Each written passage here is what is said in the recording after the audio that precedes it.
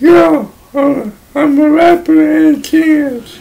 I used to make girls more like us. Yo, what happened to the U.S.?